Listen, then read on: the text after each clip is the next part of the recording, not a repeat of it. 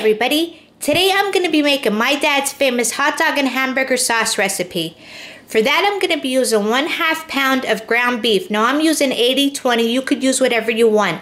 One cup of water, two tablespoons of chili powder, I'm using dark but you could use whatever you have on hand, two tablespoons of paprika, one tablespoon of crushed red pepper, one tablespoon of cayenne pepper, two cups of um, chopped onion. That equals to about two medium onions and one pound can of tomato sauce. Okay, so you start off by frying your ground meat. Okay, after your ground meat is brown, what I do is I put it in a strainer and I leave it strain into a bowl so you're not, you know, eating all that grease. And then what I'll do is I'll take some cold water and I'll rinse it and make sure I get all that grease off there.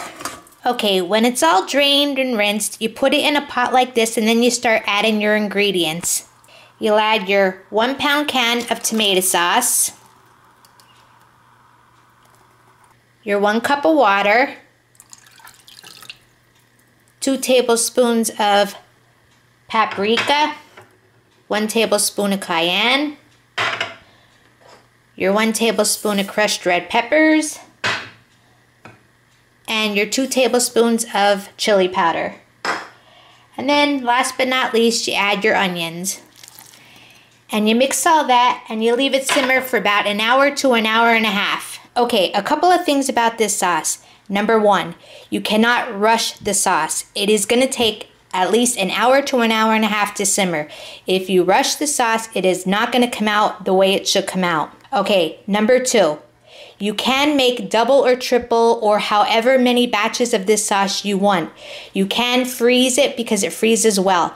My dad used to put it in ice cube trays. Then when it froze, he would pop the ice cubes out well, the sauce out and put it in Ziploc bags because an ice cube is the perfect size for a hot dog or a hamburger. Now this is my dad's exact recipe. The cayenne is pretty hot, so you can cut down on the cayenne if it is too hot for you, but this is my dad's exact recipe and everyone loved it. There was a little corner store down the street from where we lived and he asked my dad to buy the recipe off him and my dad refused to sell it.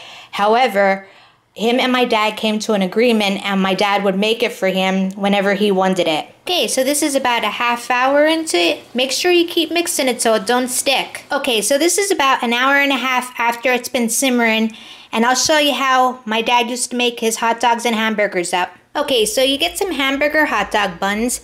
You get some chopped onion, butter, mustard, of course your hot dogs, pepper, of course your hamburgers, and the famous hot dog sauce and hamburger sauce. But you get your butter and you put it on your hamburger buns, both sides. Okay, so then once you do that, then you get your hamburger and hot dog sauce and you put on as much as you want. Just like so.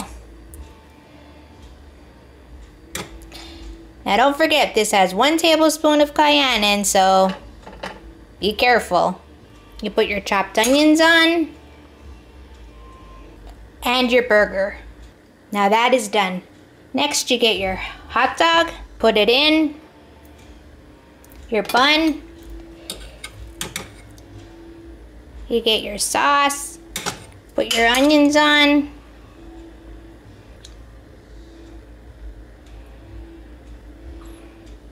and last but not least you put some pepper on and that's how you eat it. Enjoy!